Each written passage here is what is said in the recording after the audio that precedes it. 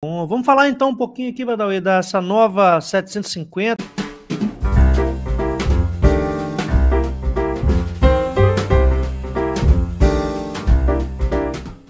Não sei se é uma nova 750. Na realidade, essa notícia ela veio à tona hoje de manhã, né? O pessoal me mandou. Na verdade, foi o Thiago Leão que está aqui com a gente aqui, ó. Me mandou um, uma mensagem lá no Instagram, né? E eu fui olhar nas melhores do ramo aí do, do noticiário indiano, né? Tem várias revistas, né? Eu peguei na Rushlane, que foi ela que publicou primeiro. Então vamos dar moral aqui para Rushlane, que é uma revista indiana que traz bastante notícia para a gente, principalmente sobre a Royal Enfield, né? Então ela fala o seguinte: a Royal Enfield 750 espionada com fairing, com duplo disco na dianteira, com um assento alongado, será que é isso? Long seat é, long e um seat. novo motor, né? Tá falando de um novo motor nessa moto aí. Lembrando que na realidade é uma moto que tá no estilo aí de uma vamos colocar assim, uma Continental GT, né, Badawi? Ah, lembra muito, e, e aí por conta dessa carenagem alongada, é uma café racer clássica, né? E eh, você pode observar, ela veio com disco duplo na frente. Se está é. com disco duplo para frear melhor, porque o motor é mais potente, né? Esperamos, é. esperamos. É, eu não sei de onde os caras tiraram essa conclusão que pode ser um motor maior, porque na realidade não dá para ver nada, né, cara? A moto tá toda coberta aí, né? Geralmente quando são testadas essas mulas, né? São as mulas de teste, né? Teste mil, que eles chamam lá no, da, no, nas reportagens, né? Elas são todas cobertas.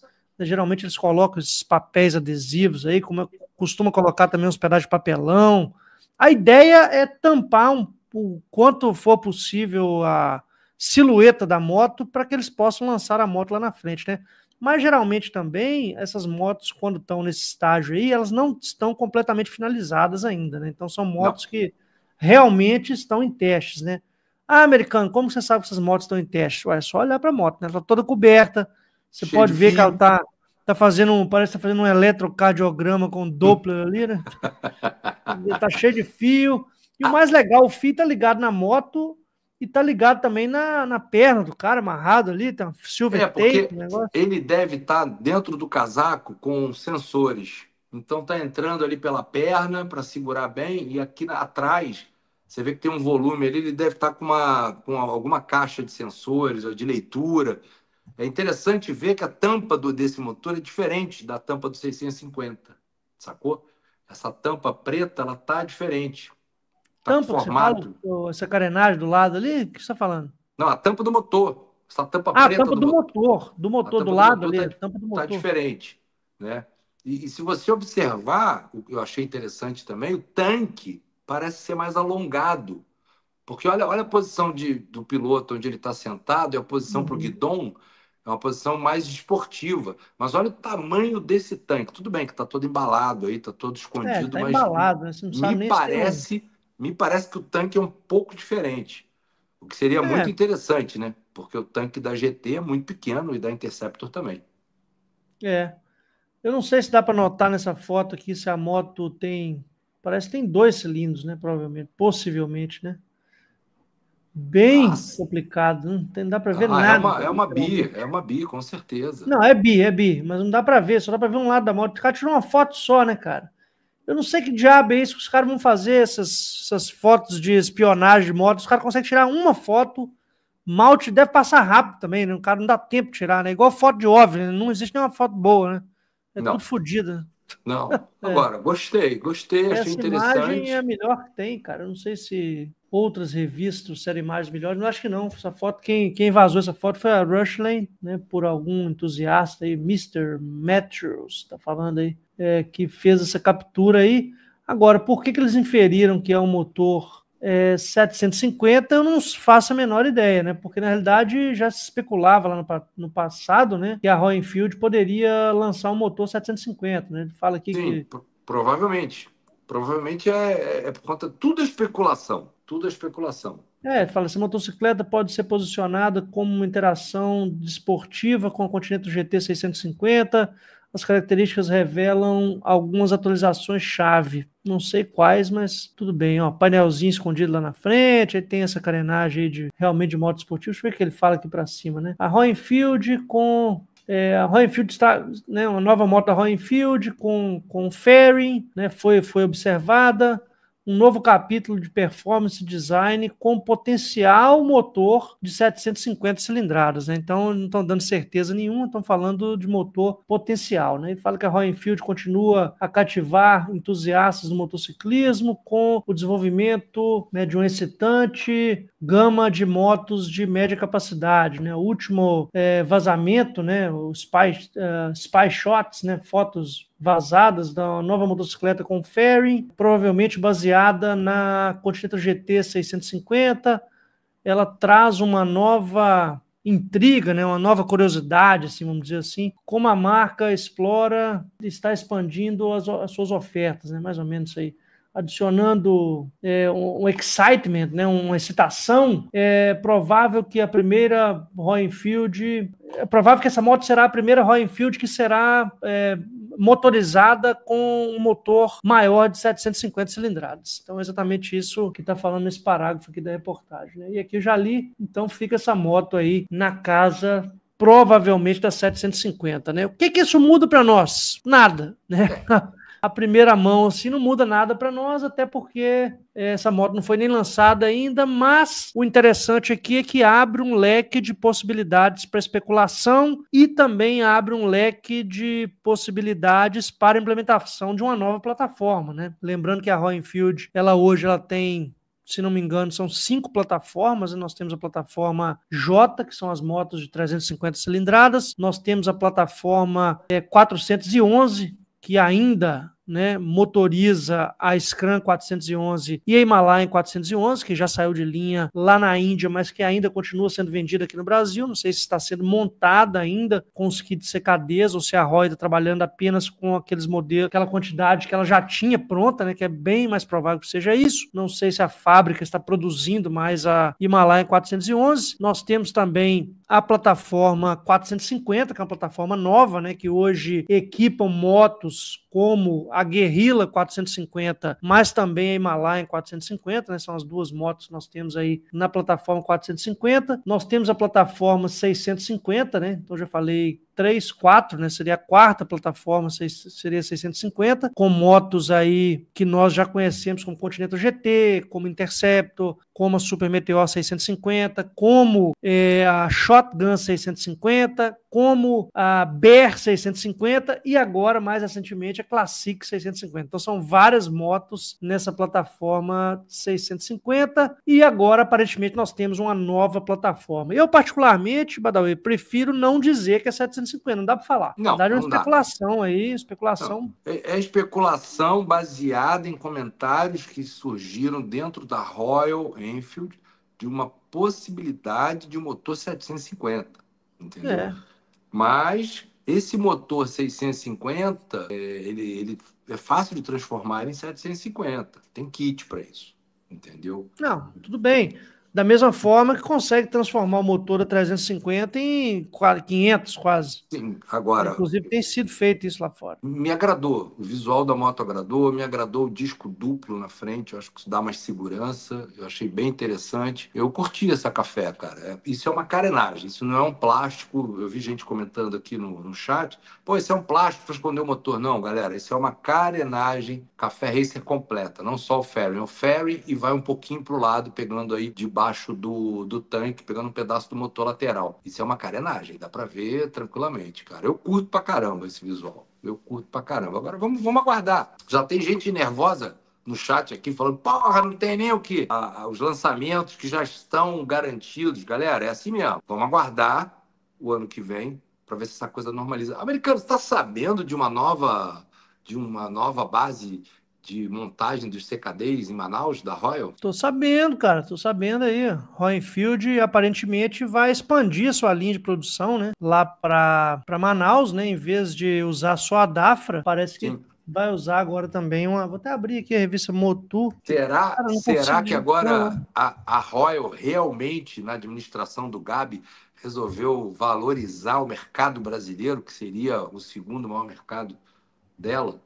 Entendeu? É, pois é, aparentemente. É um mercado grande, né? E dá atenção e falar, galera, porra, estão perdendo dinheiro. Estão perdendo dinheiro. Vamos montar uma segunda base de montagem desses kits e vamos botar moto na rua. E vamos abrir concessionária igual, porra, porque é o que todo mundo quer. Eu acho que todo mundo que está com a gente aqui, é aquilo que a gente já vem falando há um tempão, quer chegar numa concessionária e ter todos os modelos para você comprar, sem fila, sem reserva, sem ágil, é, sem nada. Tá? É isso mesmo. As motos têm que estar tá lá. Colocar, é muito frustrante na... você chegar numa loja da Royal e tá lá uma, as Meteor, Hunter, é, a Interceptor, a Interceptor raiada e a GT. E não ter a Super Meteor, a Shotgun tá vindo. É chato, é frustrante. Tá vindo, mas aparentemente só em março, né? No final do ano fiscal, né? Então, eles colocaram Sim. até o final do ano fiscal deles, que a gente sabe que termina em março. Então, subentende-se que o prazo final para a vinda da Shotgun e da Himalaia 450 seria o mês de março. Inclusive, fiz um vídeo ontem falando exatamente isso. É, Rafael Mioto trouxe lá no dia 14 ainda, né? Falando que a Royal Enfield expande a produção no Brasil em parceria com a Multi, cara, a marca de motos, terá a segunda unidade de montagem no Brasil, além da já existente com a Dafra. Né? Então ele traz aí que a Royal Enfield anunciou a expansão da sua produção de motos no Brasil. A partir de 2025, a empresa terá uma segunda unidade de montagem em parceria com o grupo Multi, que é dono da Watts, é, além da já existente com a Dafra. Essa nova unidade também é no formato CKD, que é o Completely Knockdown, no qual as motos vêm completamente desmontadas da Índia para que a montagem possa ser feita em Manaus. Então é isso aí. Aí ele traz informação que também tem recorde e fila de espera, né? A fabricante centenária vem expandindo sua presença no Brasil e acaba de bater recorde de vendas com 1.800 motos é, em apenas um mês. O ano de 2024 também é, já é o melhor da sua história no Brasil desde 2017, com mais de 14 mil unidades vendidas. Né? Esqueceu de falar aqui né, que também tem uma fila grande de pessoas esperando né, pelas motos então é isso aí. Na é. sequência, ainda sem data definida, são aguardadas a BER 650 e a Classic 650. O novo CKD reforça nossa atuação e nosso compromisso em trazer todos os modelos que façam sentido para o nosso mercado e também uma entrega com mais agilidade para os clientes que possam, para que possam receber suas motocicletas e rapidamente desfrutar o máximo do estilo de vida Royal Enfield, afirmou Patini. E aí, o que, que, você acha disso aí, Badalé? Cara, eu acho que tá no caminho, tá no caminho certo. O caminho é esse. Não tem outro caminho também, cara. Não há o que falar. Agora eu fico aqui, americano, pensando o seguinte: é, a Royal fez a promessa de abrir várias concessionárias do Brasil afora. Ainda algumas capitais sem Royal Enfield, né? Cidades importantes. Só que tem uma coisa, além do estoque de peças, que isso daí eu acho que é a parte mais fácil, galera. As motos vêm, as peças vêm. Peça, eu acho que não, não há o problema. Eles querem ganhar dinheiro. Agora, acho que um problema que fica na minha mente aqui é a mão de obra, entendeu? Não é, não é simples você abrir vaga para mecânico, contratação de mecânico, né? E você tem que dar curso para os caras, sabe? Você tem que treinar os caras para as motos, para eles fazerem inicialmente o básico, mas os caras têm que ter treinamento específico. Então não, não é simples botar zilhão de motos na, na, na rua, vender para caramba, ficar inaugurando concessionária se você não tem mão de obra técnica especializada, bem treinada pela fábrica, né, pela montadora, para você atender o pós-venda para a galera. Então, a gente vê algumas, algumas reclamações, alguns problemas, eu acho que tudo é normal, mas essa expansão, eu acho que ela requer é, treinamento de mão de obra. Porque é muito fácil você treinar vendedor, gerente, é, galera da boutique, isso tudo é tranquilo, galera. Agora, o, acho que pega é o mecânico, é o cara que vai ali botar a mão na sua moto. O que, que você acha? Cara, eu acho que você está coberto de razão, né? Tem que ter essa parafernália toda, mas mais do que isso, tem que ter um pouco mais de agilidade nessa história toda, né? É, é, um movimento muito lento aqui no Brasil, né? Principalmente quando você fala das motos que são lançamentos no exterior, né? Então você tem um tempo muito longo. A gente entende que existe uma política diferente aqui no Brasil com relação aos outros países, isso atrasa. Só que no caso da Royal, além de ter um movimento já difícil aqui no Brasil, ela consegue atrasar ainda mais, porque é uma marca marca que ela não tem a sua linha de montagem própria aqui no Brasil. E isso, querendo ou não, dificulta muitas coisas para ela, né? Porque se ela trabalha em parceria com outras empresas, ela tem que trabalhar dentro do limite de produção das outras empresas, né? A DAF, por exemplo, é uma empresa que monta para outras marcas também, não é só para a Field. Então, acho que essa parceria agora com a Multi, que inclusive é a mesma Multi lá da Multilaser, tá ligado, né? É a mesma sim, empresa. Sim. Mesma empresa da Multilaser, do teclado, dos sim. Longtech lá, do, né, do que vende mouse, vende teclado, vende pendrive, vende moto elétrica, né? Na realidade, compra tudo na China e revende aqui, né? É, é os caras que é, encheram o saco pra gente tá pagando pra importar, pra comprar na Shopee hoje, né? Esses caras encheram a porra do saco. Esses caras da Multi, o cara da Van, encheram porra do saco para a gente pagar imposto, porque eles trazem container fechado e vende. Nós temos que pagar. É. Essa é a realidade, né? Doa quem doer, essa é a realidade. Né? precisamos trabalhar com a realidade. Né? A realidade é, esses caras encheram a porra do saco pra gente voltar, é, pra gente começar a pagar imposto pra caramba nos produtos importados da China, principalmente. É isso.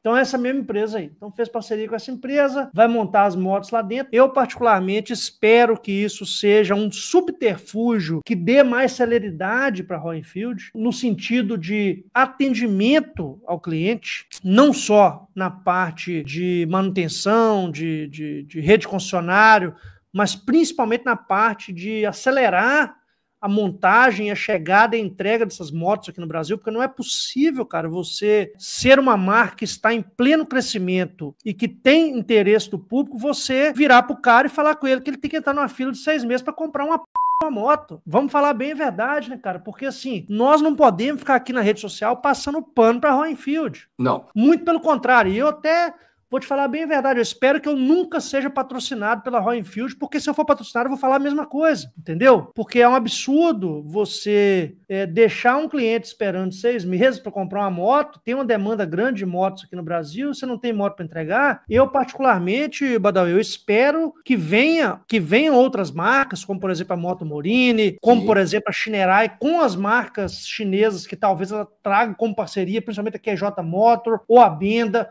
ou alguma outra marca chinesa de peso maior e que se alimente de uma parcela desse mercado. Porque não é possível, cara, você ter a faca e o queijo na mão e você virar para o cara querer normalizar uma, uma fila de seis meses. Não é normal. Não pode ser normal em uma marca que está buscando qualquer tipo de crescimento dentro do país. A Roenfield não é a Honda. A Roenfield não é a Yamaha. Eu sei que tem um monte de gente que é apaixonado pela Roenfield aí, que vai ficar bravinho, vai vir na rede social, vai dar um de hater. Pode dar um de hater, não tem problema não. A Roenfield não é a Honda. Porque a Honda, se ela botar uma Rebel 500 aqui no Brasil, custando duas vezes mais do que uma Super Meteor, ninguém compra Super Meteor mais. Sim. Aliás, falamos, não é ninguém. Não falando, já falamos isso aqui. Não estou falando do cara que é fanboy da Royal Enfield. Estou falando no âmbito geral da população brasileira. O cara não compra. O cara paga 15, 20 mil a mais numa é, Honda Rebel, Rebel 500 cilindradas e vai reclamar do preço da Super Meteor e falar que tá caro. Então é o seguinte, quando você está nesse mercado calcando uma parcela de participação que é importante, você não pode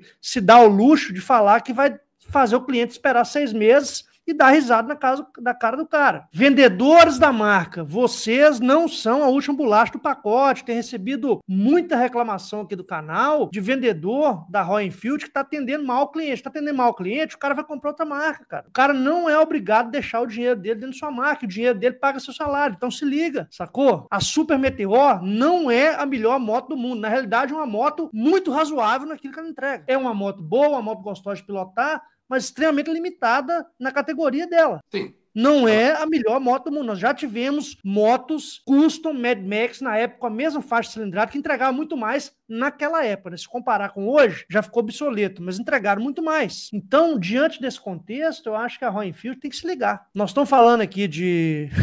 Só para finalizar aqui, já falei demais.